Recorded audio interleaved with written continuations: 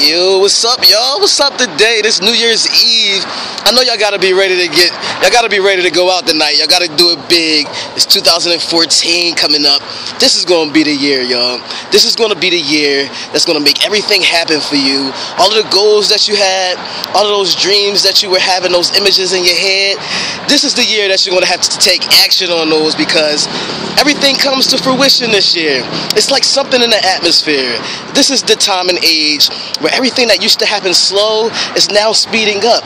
All of the goals and dreams that usually took a million years to accomplish, now as soon as you tune into those things, it just happens. It just happens now, y'all. That's why I'm saying it's the year. This is not the year to sit back and just continue to do what you was doing before that you was uncomfortable with, right? Unless you're comfortable with your situation, you need to work extra harder, extra hard in this year. I'm telling you, all right? So this is Tre here, giving you a message. Hopefully you take that message for this year. But you go out, have fun tonight, party it up, forget about last year, forget about those years before, because this year you're a new person this year. This year you're going to get outside of your comfort zone.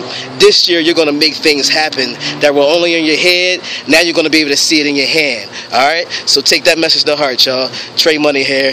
Peace out. Billionaire Success Team.